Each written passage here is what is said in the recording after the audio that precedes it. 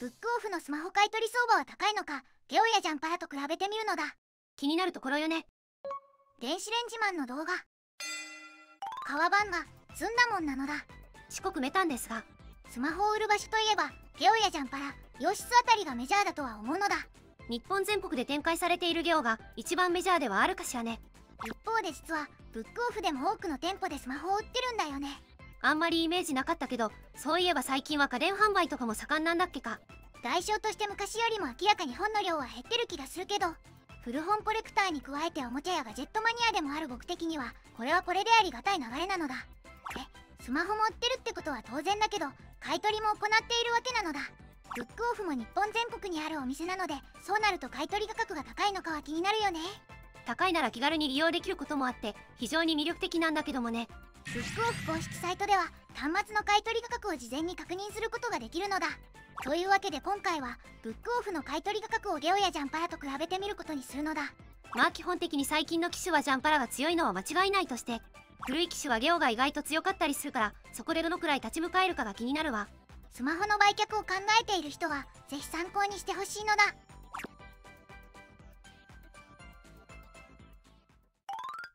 とりあえず最新の機種の買い取り価格でも比べてみようか。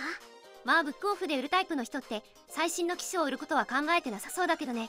最新のを売るってことはスマホをコロコロ買える人だから普通にスマホショップのジャンパラやヨシス使いそうだね。とりあえず例として iPhone15 プロの SIM フリーモデル 128GB を調べてみようか。ちなみに通常価格は15万9800円。128GB でこの値段って本当に高いわねせめて 256GB を最低容量でこの値段にしてくれとは思うのだ。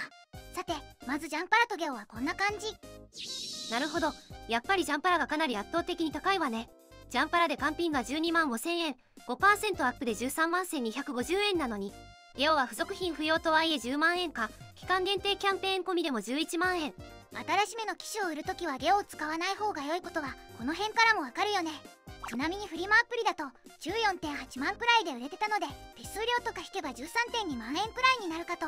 正直手間も考えると火曜日にジャンパラで売った方が良さそうね。でブックオフの買取価格はどうなのかしら？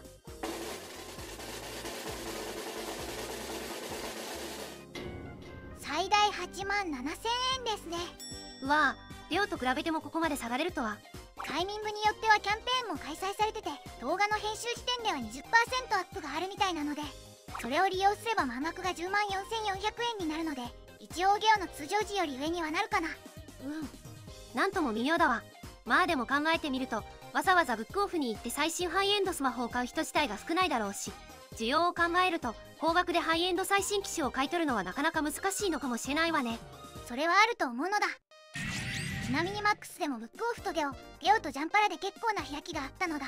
ゲオとジャンパラで4万円以上差があるしこれはもうジャンパラ以外で売りたくなくなるわね。最新機種をブックオフで売るのはどうやらやめた方が良さそうだけど3年前くらいの機種だとどうかしらね。じゃあ2021年秋発売の iPhone13 でも見てみようか。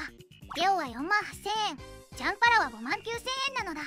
発売当時の価格が9万8800円だけどゲオですら半額近い金額で買い取ってくれるのはやっぱりすごいわね。そこら辺はさすが iPhone といったところかな。ブックオフでは4万5000円買い取り20%増額特典を使えたとして5万4000円かな。ほぼ iPhone15 Pro と同じような傾向かしらね。増額ありなら量より高いけどなしだと最安という。結局増額したところでジャンパラに負ける程度の買い取り価格なのだ。辛いところだね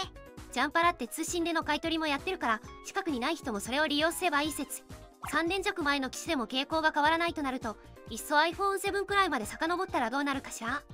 こういう感じになりましたね。悪化してるじゃんかブックオフの状況が。というか最近ブックオフでよく iPhone7 あたりの機種は見かけるけどこの価格で売ってるってこと？売ってからこの動画見た人はちょっとショックかもしれないのだ特筆すべきはゲオの買取価格でこれジャンパラやブックオフと違って箱や説明書なしで6000円買い取り。キャンペーンタイミングによっては最高額で買い取ってもらえるのだ。本体のみでも。店によっては割と査定がガバガバなのでそれなりにキスト化があっても満額査定になったりするという。あくまで店によってはの話になるけどね。古めのスマホはゲオで売った方が良いことは今回の調査で改めて浮き彫りになった印象なのだ。iPhone はとりあえず新しければジャンパラ古いのはゲオで売るのが良さそうなのは分かったわけだけど Android スマホなら高く買い取ってくれるとかないかしらね。まあないような気がするけど一応調べてみようか。それではギャラクシー S23 ウルトラの買取価格を見てみようか。ギャラクシー S24 ウルトラのはブックオフとゲオに情報なかったので。やっ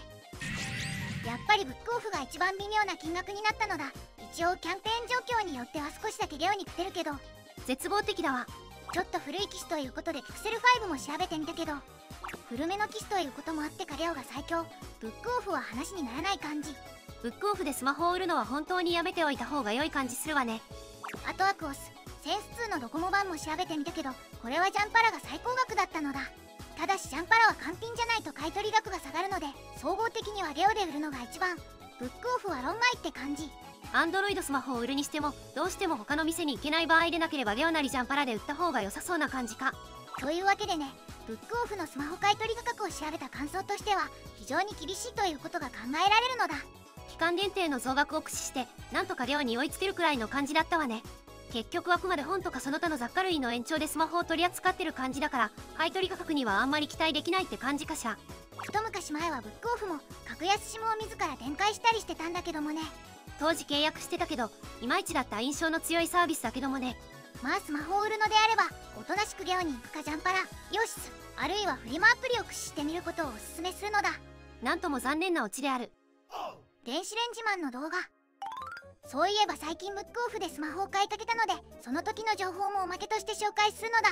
買いかけたってことは買ってないじゃんか。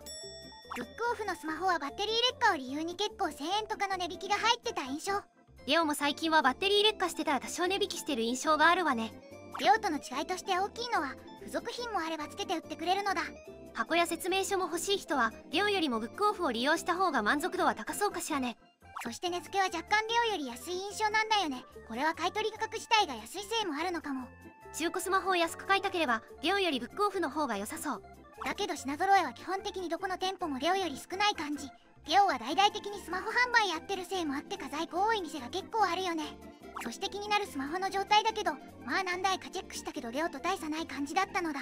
もちろん店によって傾向は異なるだろうけど結構ボロいのが多かった印象だわ。画面やフレーム背面なのに傷があったりみたいなね。やっぱりある程度状態が良いスマホが欲しければジャンパラやヨシスみたいなスマホ販売中心の店に行った方が良いのだ多少状態が悪くてもいいのでとにかく安く中古スマホを買いたいみたいな時はありかも。あんまり店ごとの在庫は多くないので使ってるスマホが壊れたから代替機探すみたいな時に利用するのがベストな気がするのだ。このチャンネルではガジェットのレビューをいろいろやってるのでチャンネル登録とか評価とかよろしくなのだ。レビューしてほしいガジェットの案やコメントもお気軽にどうぞ。紹介した商品のリンクは基本的に概要欄にあります。ブログや note SNS もあるので興味あれば概要欄からチェックしてくれちなみに買おうとしたのは iPhone7 なんだけどジェットブラックやローズゴールドの在庫を見てあまりに状態が悪いのでネットで先日のレッドを買った感じなのだ。そのうちブックオフでスマホは買ってみたいわね。あるいはパソコンでもいいけど